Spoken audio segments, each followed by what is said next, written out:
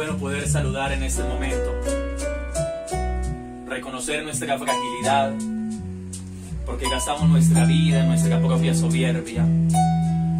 Tantos caprichos, tantas discusiones, tantas luchas de poder, del tener y del placer. Y aún así, la vida se esfuma, la vida se va. Elevemos esa plegaria especial y quiero unirme a todos los que experimentan en este tiempo la pérdida de un ser querido, la enfermedad, el miedo, el temor, la dificultad. Y es una oportunidad para decir gracias a Dios. Si nos dio la vida y la existencia, que estas manos se hagan para escribir esperanza, sueños e ilusiones. Esta voz se abra para bendecir, para cantar, para expresar la plegaria que brote de lo más íntimo de nuestro corazón y decir, Señor, aquí estamos, con nuestra humanidad y con nuestra nada. Aquí estamos desde nuestra debilidad, desde nuestro pecado, porque somos de carne y hueso, llamados a vivir con intensidad este regalo, este misterio, este hecho asombroso de la vida, porque fuimos llamados del no ser al ser y participar y unir nuestra vida mortal a la vida divina, a la vida que Dios nos ofrece.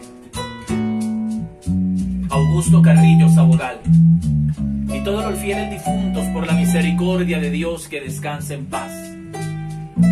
Hagámonos solidarios todos aquellos que experimentan el dolor, la pérdida, pero a la vez, en medio de la pérdida, la gratitud, porque hay personas que en su paso por esta tierra no se obstinan en el poder, sino en el dar y en el entregar.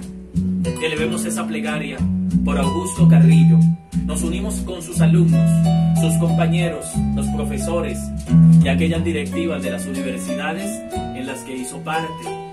Elevamos esa plegaria de gratitud.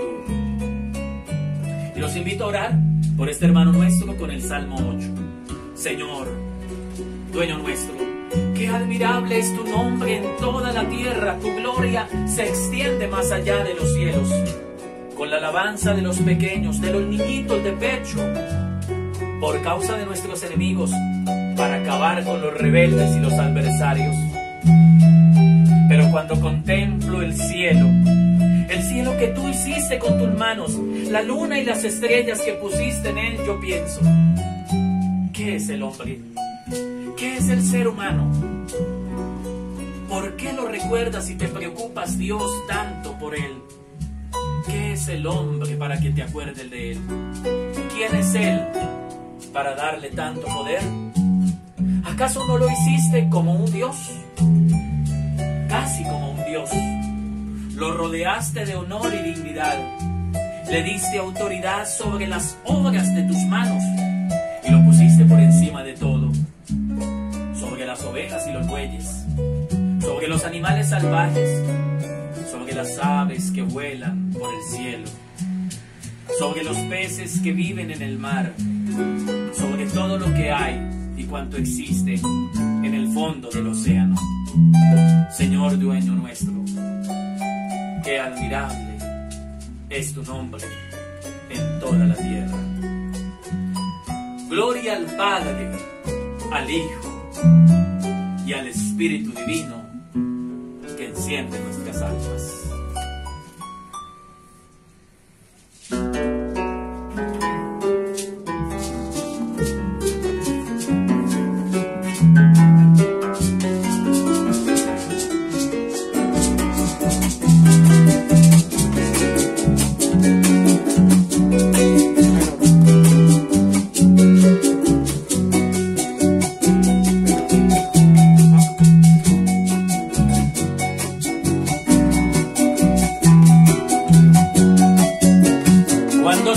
La vida y se acabe la existencia, se acabarán los sudores y las malas experiencias. Se acabará nuestro cuerpo, Sí, este cuerpo presente. Se acabará nuestro cuerpo con las amargas faenas. Tantas fueron nuestras bregas, las discusiones vacías. Y a pesar de todo ello, retornará a la tierra. Y en la tierra, en la tierra, ¿qué habrá en la tierra? Quedará simplemente lo que brota, lo que pudimos sembrar, la semilla que dejamos caer, la tierra removida. ¿Qué quedará en la tierra, en la tierra que sembramos? Pues ha de brotar la semilla que pusimos.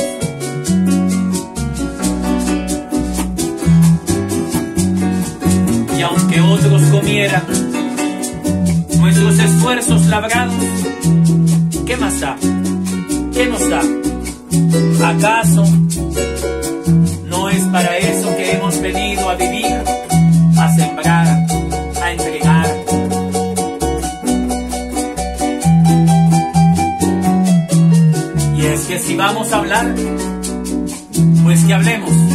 sigamos hablando, pero que nuestra voz se levante solo para bendecir, mal nunca en lugar de maldecir.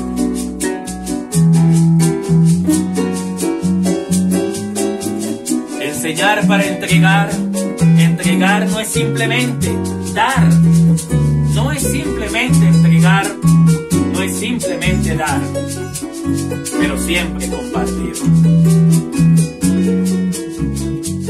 Oh Divino Maestro, Redentor y Guía, de nuestras finitas vidas y de nuestras infinitas, más bien de nuestras finitas vidas.